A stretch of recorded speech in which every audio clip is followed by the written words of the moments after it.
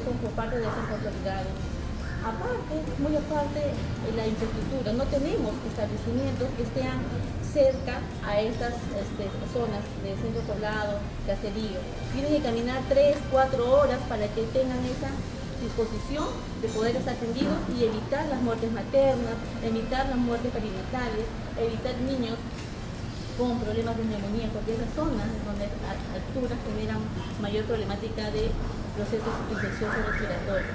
Es por eso que en el sector salud es un, es un muy, muy, muy alto, donde más de una década ha generado un retraso es así que también tenemos nosotros en el sector educación. En el sector educación nuestra infraestructura es muy precaria.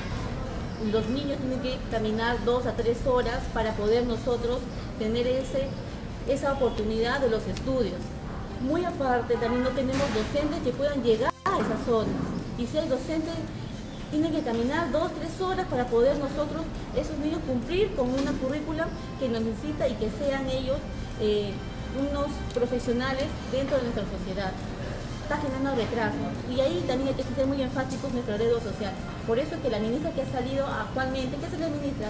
Ha sacado un decreto de urgencia donde se tiene que ya no judicializar esa deuda, sino tenemos que presentar una solicitud a nuestras unidades ejecutoras para que eh, viabilicen esa, ese pago. Y ojo, es muy populista, solamente para mí creo para todos los electores es un engaño muchacho. ¿Por qué le decimos eso? ¿Por qué? Porque sabemos que cada unidad ejecutora tiene un presupuesto destinado para cada año fiscal. Por lo tanto, no ha generado que eh, esté contemplado ese presupuesto. Es por eso que van a ingresar las solicitudes de los docentes y no va a haber ningún pago para este año. Entonces, ¿qué hacemos? ¿Qué hablamos? ¿Damos soluciones o solamente ah, eh, generamos más ampliación para este proceso administrativo. Ojo, por eso hay que tener, o sea, hay que, hay que ser conscientes y no engañar a los, ciudadanos.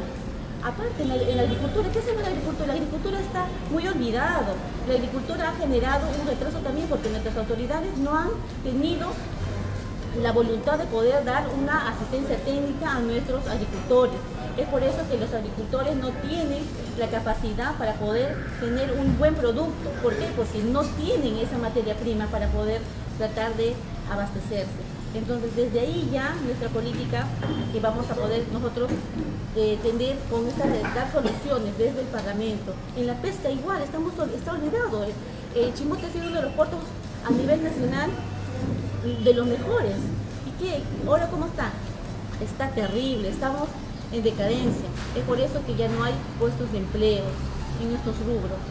Desde ahí ya nace es participar en estas condiciones políticas. ¿Por qué? Porque ya tengo esa, esa eh, eh, vocación de servir a la población y poder generar un desarrollo sostenible para nuestros este, eh, paisanos ancachinos es ahí también que es necesario de que nosotros como partido político vamos dentro del periodo de un año y cuatro meses, prácticamente es corto, sí, muchos dirán que es corto el tiempo para hacer los proyectos, ojo, pero para eso se tiene que unir con los parlamentarios, tenemos que unir fuerza con los parlamentarios para poder generar, promover estos proyectos de ley y que sean viables